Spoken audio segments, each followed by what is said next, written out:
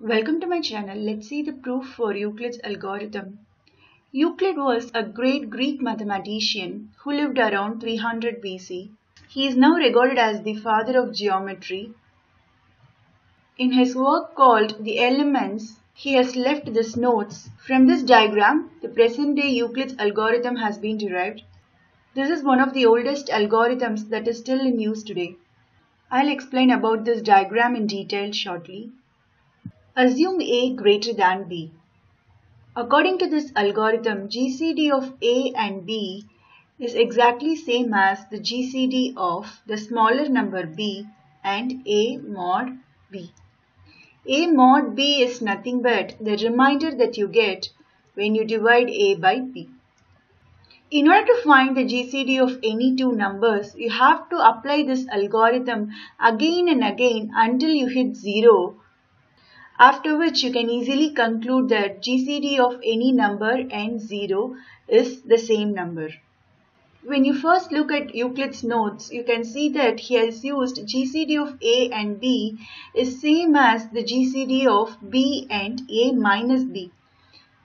This was then improved and replaced with modulo operator. Let's quickly see the implementation of this algorithm with an example. If you want more details about the implementation, you can refer to the video that I have linked in the description box. Let's take the numbers 161 and 210. According to this algorithm, GCD of any two numbers is same as the GCD of the smaller number. Here, the smaller number is 161 and big number mod small number. We know that modulo is nothing but the remainder that you get when you divide 210 by 161. So 210 divided by 161 is 1 times 161 and the remainder is 49. So this is same as the GCD of 161 and 49. Again this is the GCD of the smaller number 49 and you should find 161 mod 49. So divide 161 by 49. You will have 14 now this is same as GCD of the smaller number 14 and 49 mod 14. So divide 49 by 14. You will get the remainder as 7. This is same as the GCD of 7 and 14 mod 7. So 14 by 7 is 2 without any remainder. So we are done here. GCD of any number and 0 is the same number. So GCD of 161 and 210 is 7. If you look at the steps, you can see that this algorithm is helping us in reducing the numbers into smaller and smaller numbers until we hit 0. Let's get to the proof part. So what should we prove? Let's divide the proof into three parts. First, let's see why GCD of any number and 0 is the same number. Then let's get to the core part of Euclid's algorithm which states that GCD of A and B is same as GCD of B and A minus B. From this we can finally prove the modern form of Euclid's algorithm which states that GCD of A and B is same as the GCD of B and A mod B. Why GCD of any number and 0 is the same number? Let's take an example of GCD of 7 and 0. We know that 1 and 7 are the factors of 7. What about the factors of 0? By definition, factor of a number perfectly divides that number. Is 1 a factor of 0? Yes, 0 by 1 is 0. Is 2 a factor of 0? Yes, 0 by 2 is 0. Is 1500 a factor of 0? Yes, 0 by 1500 is 0. 0 by any number is 0. So all natural numbers starting from 1 are the factors of 0. From this we can say that 1 and 7 are the common factors of 7 and 0. So the GCD of these two numbers has to be 7.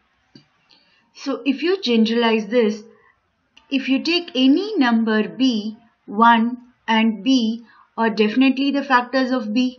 There could be some other factors, we don't care about those we know that B is the greatest factor of B. We also know that all natural numbers are factors of 0. So B has to be somewhere here. B is a common factor for both B and 0. We know that B is the greatest factor of B. So B has to be the GCD of B and 0. So it's now very clear for us that this statement is true. I find that reverse engineering is the best way to understand most of the algorithms. It's not even that fair to use the term of reverse engineering for such a simple algorithm like this, but still I mentioned it because what we are going to do is take some examples and calculate the GCD of those numbers first and then try to understand how this algorithm helps us in calculating that GCD. Let's take these four sets of numbers as our examples. Now calculate GCD of these numbers using any method of your choice. Since our proof involves a minus b, let's see what is a minus b for these numbers. I have just subtracted the numbers in the first row and have returned here. Let's write down what we have done so far. We have assumed that GCD of A and B is G. We have to prove that GCD of B and A minus B is also equal to G. If you look at these example, we can easily observe that A minus B is always a multiple of G. 36 is a multiple of 9, 16 is a multiple of 4, 66 is a multiple of 11 and 49 is also a multiple of 7. Let's write down the observation. We have only observed it with a few examples. That doesn't mean that it is always true. Let's try to prove it theoretically first. G is the GCD of A and B means that G is a divisor of A and B. In other words, you can say that A and B are multiples of G. A is some multiple of G and B is some other multiple of G. A minus B is then equal to mg minus ng or you can say m minus n into g. Remember that we have always assumed A is greater than B. If A is greater than B, m has to be greater than n only then, if you multiply m and n by some common integer, a can be greater than b. Since m is greater than n, you can for sure say that m minus n is some positive integer. If a minus b is some positive integer times the GCD of a and b, you can definitely say that a minus b is always a multiple of g. If you just rephrase this statement, you can say that G is a factor of A minus B. We also know that G is a factor of A and B. So you can say that G is a common factor of A, B and A minus B. I have just rephrased this sentence so this is always true. But this doesn't mean that G is the greatest common factor for B and A minus B. Is G the only common factor of A, B and A minus B? No, there could be some other common factors for these three numbers. We know for sure that there is 1 which is common for all these three numbers and there could be some other numbers between 1 and G that are common factors for all these three numbers A, B and A minus B. But we really don't care about those numbers that are less than G so our intention is to check if there is a possibility of a number greater than g that can be a common divisor of both b and a minus b. In order to prove that such a number cannot exist, I am making a statement that m and n are coprimes. Let's see if the statement is true or not.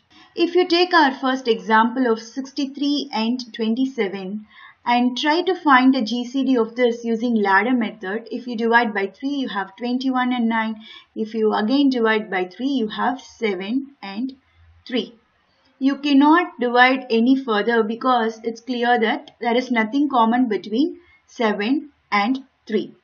So we stop here and just multiply the common factors and say that 3 into 3 is 9 so the GCD is 9. If you try to write A and B that is 63 and 27 as a multiple of GCD you can see that 63 is 7 into 9 and 27 is 3 into 9. These two numbers where we stopped are nothing but our M and N. So if you take any example we will only stop our divisions when the two numbers that are left out do not have any common factors which means that they are coprimes. If they are not coprimes, we will not stop here. We will just continue to divide and divide further until the numbers that are left out are coprimes. So for any A and B, in order to have G as the GCD, M and N has to be coprimes. So this statement is always true. If M and N are not coprimes, G cannot be the GCD at all and our initial assumption itself will be wrong. If m and n are coprimes, n and m minus n are also coprimes.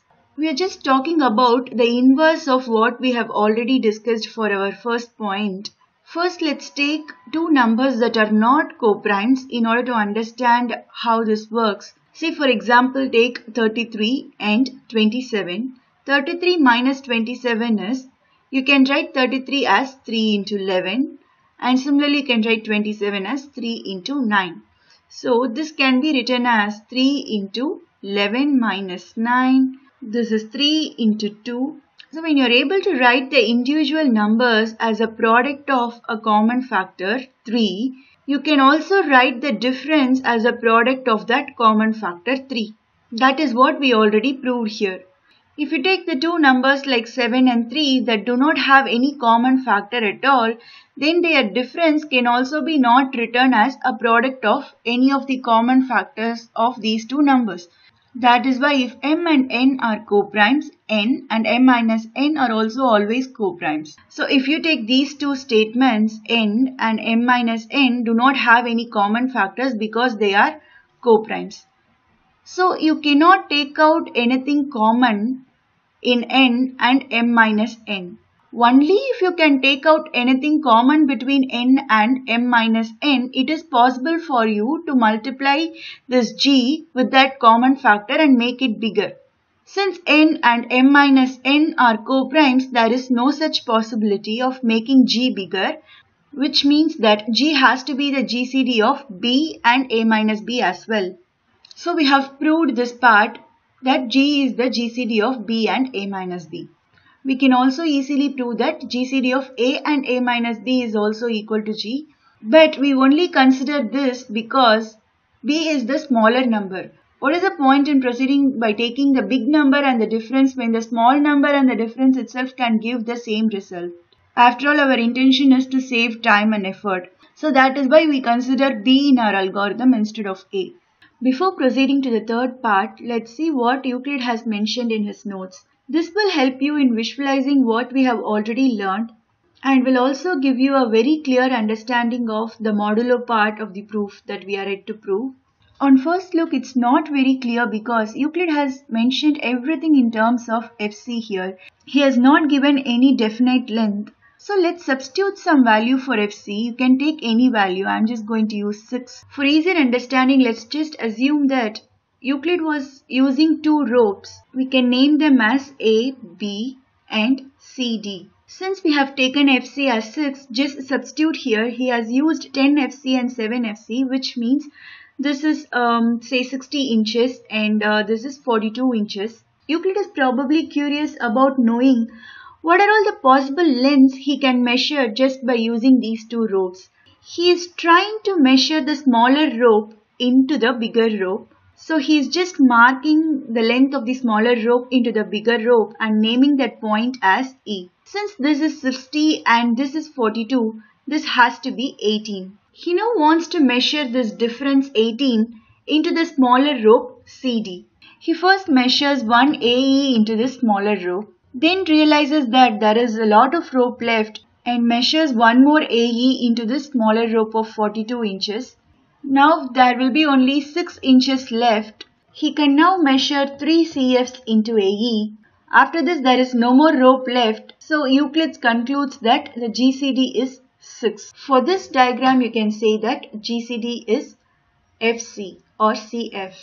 Let's try to map whatever we have done now into our algorithm. We took two ropes of length 60 and 42. These are the numbers for which we have to find the GCD. This is A and this is B. We first try to measure 42 into 60. 42 can be measured in 60 only one time and the difference or the remainder is 18. You are then trying to measure that difference into the smaller row or the smaller number 42. You subtracted one 18 from 42 and you subtracted one more 18 from 42 and then you are left with 6. This is nothing but you are dividing 42 by 18 and the remainder is 6. In other words, 42 mod 18 is 6. And then when you try to measure that 6 into this smaller rope of 18, you are able to perfectly match it and you are left with no more rope which means that the remainder here is 0. So we concluded that the final length that we measured is our GCD. So it's very clear how we are making use of the difference here and when we use the difference successively we are left with the remainder or the modulo. I'll discuss in detail about applications of GCD in measurements and extension of this particular concept. How this concept can be applied in measuring the lengths. I'll link that video down in the description box. Let's move to the third part. We already know that GCD of A and B is same as the GCD of the smaller number B and A minus B, the difference between the two numbers. Let me take a very simple example, GCD of 70 and 20. So if you apply this rule, it is same as the GCD of the smaller number and their difference which is 50. Again if you apply this rule, it will be the smaller number 20 and the difference is 30. Again if you apply this, you will have 20 and the difference is 10. Now 10 became the smaller number so you cannot take out any more 20. So what we did was we subtracted 120 from 70, again one more 20 from 70 and again one more 20 from 70 until the result became less than 20. So in general you can say that you can take as many B's as possible from A until the result is greater than B. When the result became less than B, you have to stop. If you just want to jump from this step to this step, you just want to take out as many 20s as possible from 70, right? In general, this is same as the GCD of B, comma A minus NB. N is just as many B's as you can subtract from A. If you take a deeper look here, N is nothing but the quotient when you divide A by B. See here 70 by 20, the quotient is 3. So that is why you are able to take 3 20s out of 70. A minus NB is nothing but the remainder that you get when you divide A by B. So instead of just doing repeated subtraction, we can just replace this and say that GCD of AB is same as the GCD of B and A mod B. Just look at it this way. Multiplication is nothing but successive addition. Similarly, division is nothing but successive subtraction. Here we have a reminder hanging around and we are using that reminder instead of subtracting many times. It's as simple as that. Thank you for listening.